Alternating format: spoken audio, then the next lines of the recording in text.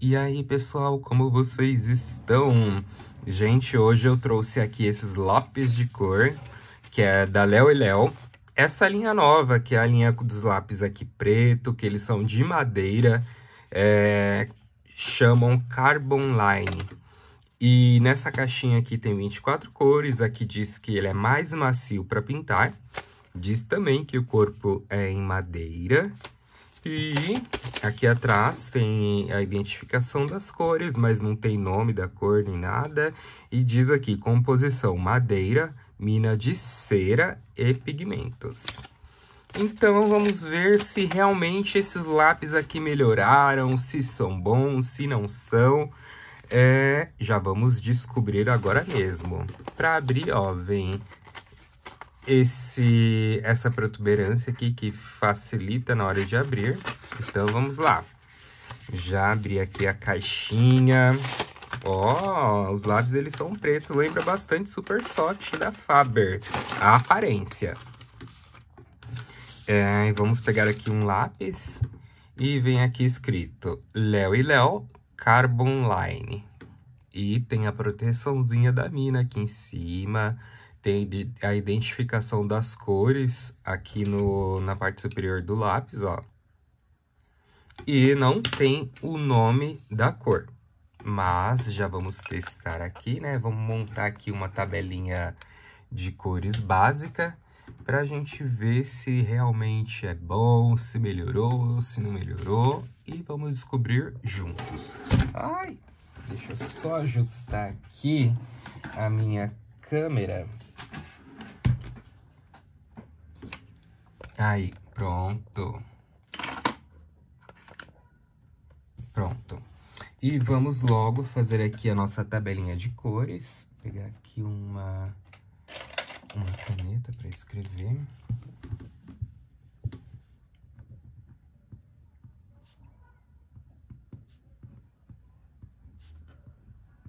Eu comprei quatro caixinhas. Comprei essa de 24, não, três caixinhas. Essa de 24, a de tons metálico e a de tons neon e pastel que vem na mesma caixa. Então, aqui eu vou numerar de 1 a 24.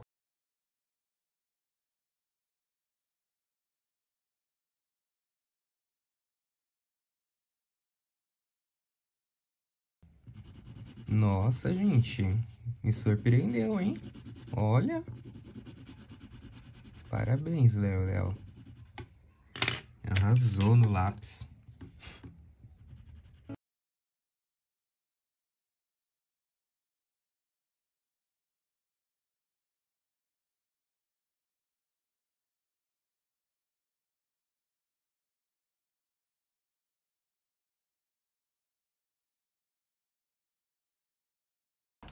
Gente, eu terminei aqui de montar a tabela de cores e eu amei. Olha, as cores são bem vivas, o lápis ele é sequinho, porém eles são bem pigmentados. E realmente, Léo e Léo, parabéns, arrasou nesses lápis. São os lápis baratos, R$ 25,90, 24 cores. E bem pigmentado, nossa, arrasou, hein, Léo Léo? Tão de parabéns! Agora eu vou fazer um desenho aqui para a gente colorir, ver como que o lápis aí faz as misturinhas de cores, se vai ficar um colorido legal num desenho. Então, já vou começar aqui fazer um desenho para a gente colorir e ver como que vai ficar o resultado.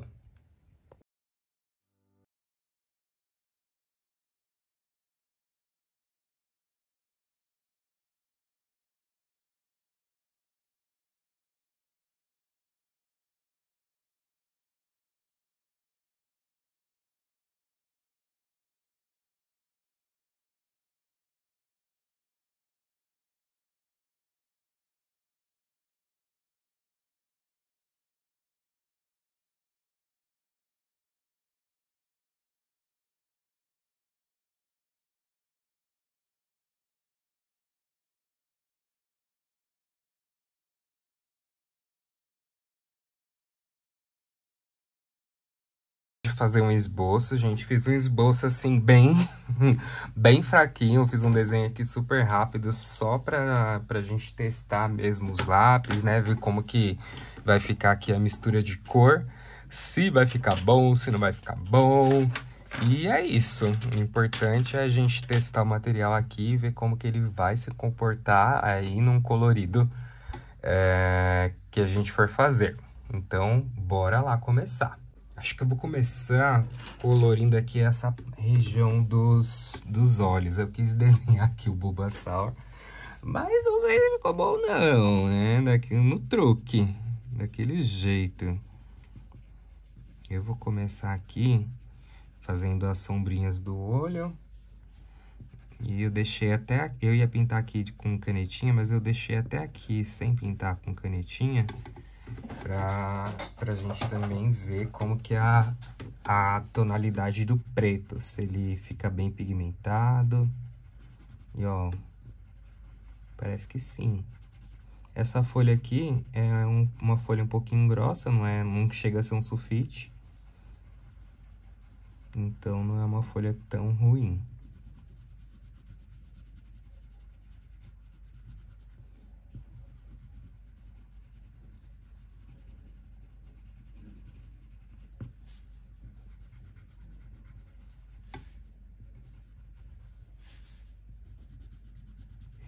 deixar mais escuro.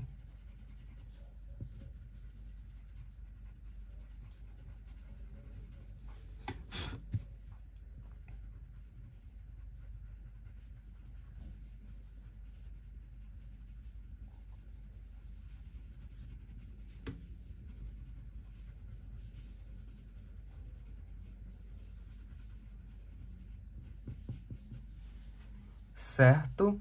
E o Bulbasaur, ele tem um olho vermelhinho. Então, eu vou pegar aqui o vermelho. É, acho que é esse daqui mesmo. É ele mesmo, o vermelho que ele tem um tom... O tom de vermelho mais claro aqui da, da caixa. Aí eu já venho aqui... Passando no olhinho dele.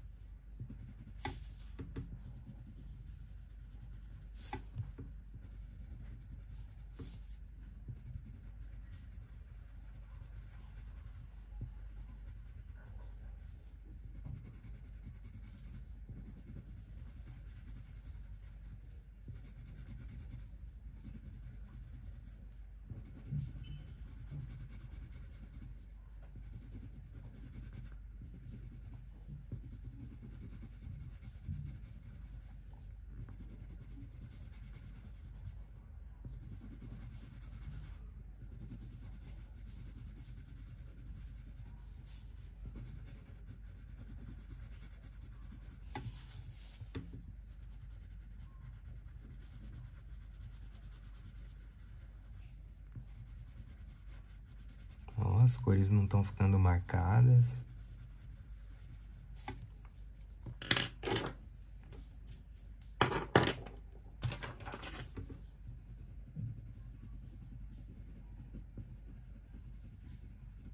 Ó, deu para construir uma camadinha aqui. Agora eu vou pegar o vermelho escuro. Esse daqui mesmo. É ele mesmo.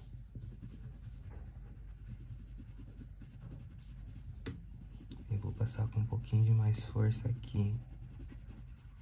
Ó, dá pra ver que deu uma escurecidinha. Claro que isso daqui é um lápis escolar, né, gente? Então não dá pra... Mas ele tá ótimo.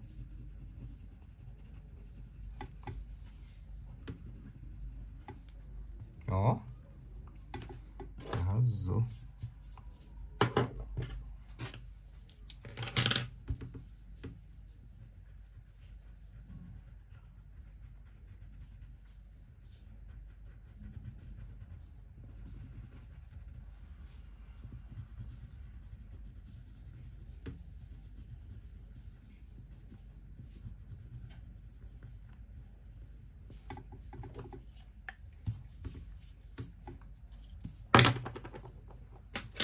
Aí aqui no olhinho dele eu vou passar o cinza.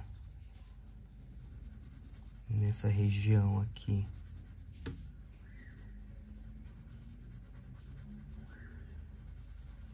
Acho que eu vou passar o preto também.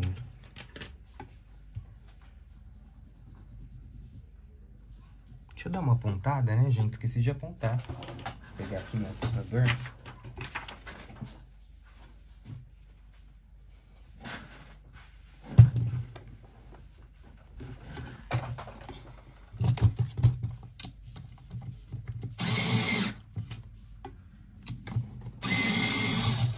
Nossa, ele é bem macio para apontar.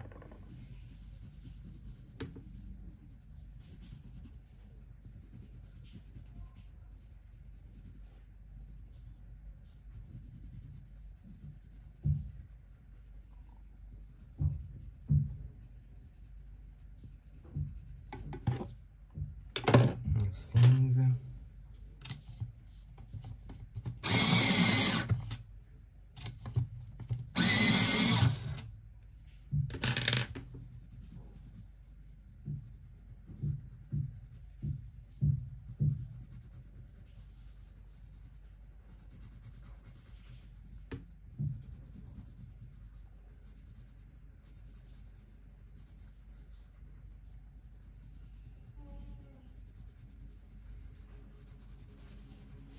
Ó.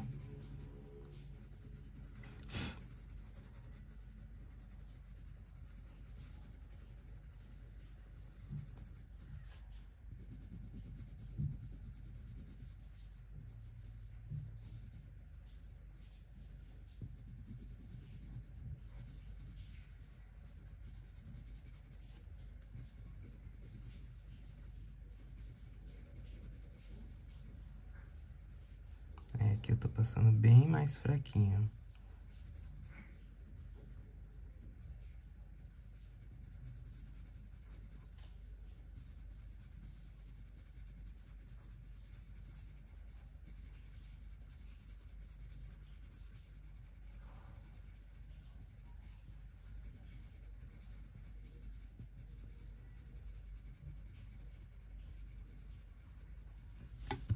Oh, Léo, Arrasou, Léo e Léo.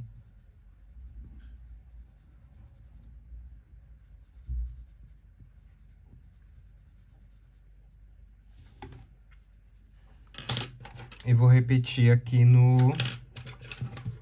Nesse outro olhinho.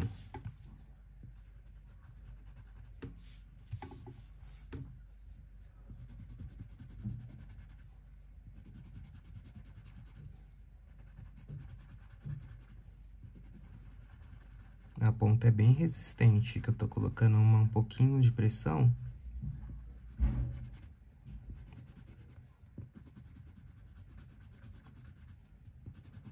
E não é um lápis duro. Por ser sequinho, não é tão duro. É um lápis até que macio.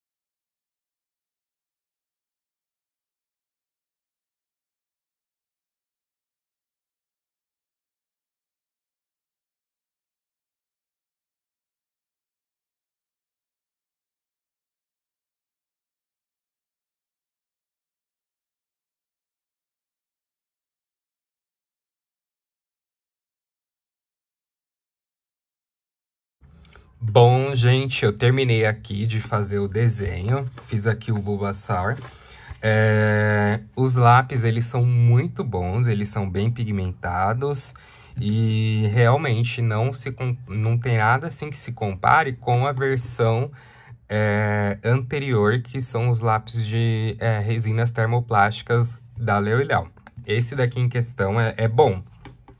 É um lápis bem gostosinho de usar. É, é um lápis, assim, razoavelmente macio. Não precisei usar tanta força para soltar o pigmento. E eu só me arrependo de ter feito um desenho grande, porque eu fiquei muito tempo...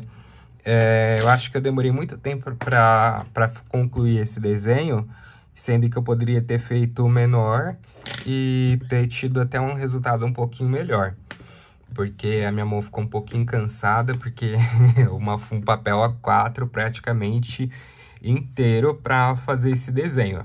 Mas gostei bastante do lápis, eu indico. É, não é um lápis que eu indico, assim, como é, para usar é, para desenho profissional, alguma coisa do tipo. Mas para colorir, né, passar o tempo aí, ele é um lápis bom. E pelo preço, é, eu paguei nele, foi, deixa eu pegar aqui a caixinha, hum, R$25,90 pelo preço, tá ótimo. Tá, tá ótimo, assim, pelo resultado, né? Pelo tipo de mate do material.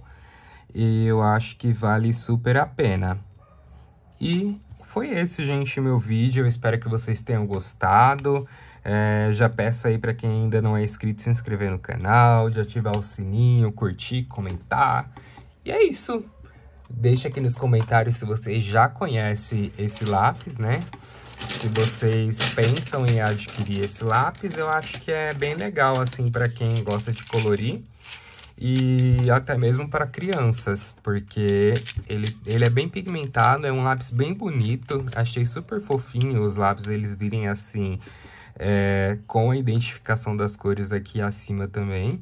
Acho que poderia ter ali um número ou um nome que identificasse cada cor, mas tá de boa.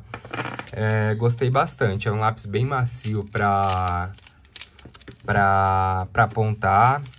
E é isso, gente. Deixo um abraço no coração de todos vocês. Até o próximo vídeo e tchau!